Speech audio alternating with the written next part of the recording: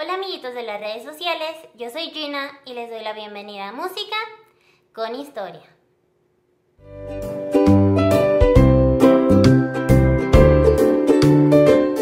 Y pues así es amiguitos, como ya lo vieron en el título de este video, hoy vamos a hablar de un compositor para guitarra que es muy reconocido y fue muy prolífico. Estamos hablando de Mauro Giuliani.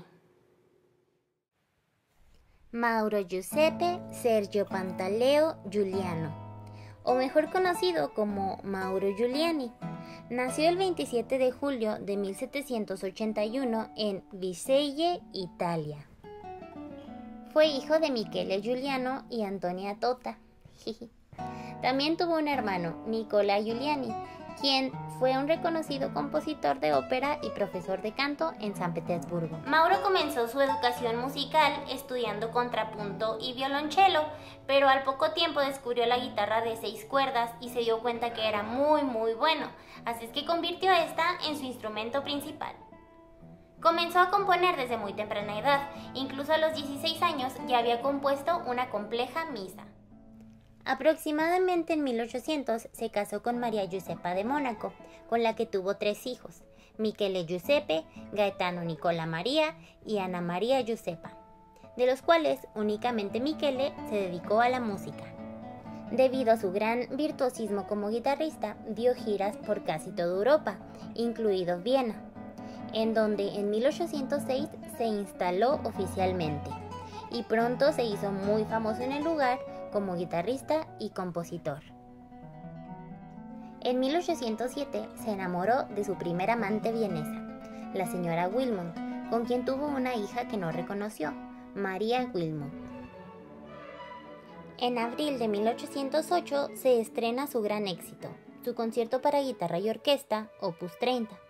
A partir de ese momento se convierte en un referente de la guitarra clásica en Viena enseñando, dando conciertos y componiendo una gran cantidad de repertorio para guitarra, 150 obras con número de opus y más de 50 sin numerar. Giuliani escribió para guitarra utilizando la grafía habitual para otros instrumentos en clave de sol, para que así las personas que no eran expertas en las tablaturas de guitarra pudieran leer las partituras para esta. En las ediciones de sus partituras, él hacía diferencia de las voces de la melodía, del bajo o de las del medio, dependiendo de para dónde fuera la plica, que es como nosotros la, conocemos las partituras de guitarra hasta el momento. Las plicas es este palito que tienen las notas musicales. Si iba para abajo, pues significaba que era la voz del bajo, y si el palito o la plica iba para arriba, significaba que la voz pues era de la melodía. Aproximadamente en 1812 se enamoró otra vez, ahora de Nina Wiesenberg, con quien en 1813 tuvo a Emilia Giuliani, a quien, a pesar de que fue una hija fuera del matrimonio, sí reconoció, y no solo eso, sino que se vio muy entrometido en su educación y la impulsó a tener una gran carrera como compositora y guitarrista. Por cierto, yo tengo un video de ella, se los dejo en la pestañita y en la descripción. Está muy padre, véanlo. Como un dato que a mí me parece muy relevante, Giuliani tocó el violonchelo en el estreno de la séptima sinfonía de Beethoven, el 8 de diciembre de 1813, donde también tocaron otros grandes músicos como Johann Nepomuk Hummel y Louis Spohr. Y alguien alguna vez me dijo que Giuliani y Beethoven eran amigos, pero esto es algo de lo que en realidad no tengo ninguna prueba, pero como dicen por ahí, tampoco dudas. Aunque la verdad yo sí tengo mis dudas, pero es algo en lo que me hace mucha ilusión pensar. Me hace feliz pensar que estos dos eran buenos amigos. En 1814, la emperatriz María Luisa de Austria, segunda esposa de Napoleón, lo nombró virtuoso honorario de la Cámara y posteriormente también fue nombrado Caballero del Lirio, distinción que solo se le dio a 50 personajes destacados. En 1819, por alguna razón o por otra, ya sea por su vida bohemia o por sus múltiples amoríos, porque miren, no era bien loco, hasta tenía un arete. Digo, en 1800 eso me parece que fue radical. Pero bueno, el caso es que en 1819 tuvo que regresar a Italia, donde recorrió el país dando una multitud de conciertos. para recuperarse económicamente. En 1820 se estableció en Roma y finalmente en 1823 se instaló en Nápoles, donde disfrutó del mecenazgo de la nobleza hasta sus últimos días. El 8 de mayo de 1829, Giuliani muere en Nápoles, Italia, a la edad de 47 años.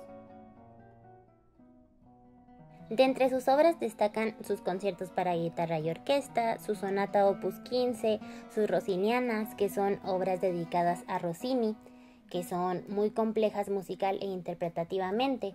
También algunas de sus variaciones, de las cuales muchas también están dedicadas a Rossini. Y esto es nada más un decir, porque en realidad muchas, muchas de sus obras son muy importantes hasta el momento. La dificultad técnica y musical de su obra supone un gran reto interpretativo para los guitarristas. También es muy común que se toquen sus estudios y sus ejercicios técnicos, ya que son muy útiles para el perfeccionamiento guitarrístico. Y bueno amiguitos, pues en realidad no es mucho lo que conocemos acerca de la vida de este gran compositor, Mauro Giuliani, pero por suerte sí trascendió mucha de su obra, incluso podría decirse que la mayoría y pues tiene todos tipos de obras, tiene obras desde para principiantes hasta para muy avanzados y pues hay que sacarle provecho y pues tocarla mucho. Y bueno amiguitos, pues después de este mega resumen de su biografía, los dejo con mi interpretación del preludio número 4, opus 86. Son, es un opus de 6 preludios y este es, es el cuarto y pues a mí me parece muy muy bonito, no es tan tocado y creo que merece mucho la pena este preludio, es muy hermoso. Y pues espero que les guste y pues nada, los dejo con mi interpretación del preludio número 4 de Mauro Giuliani.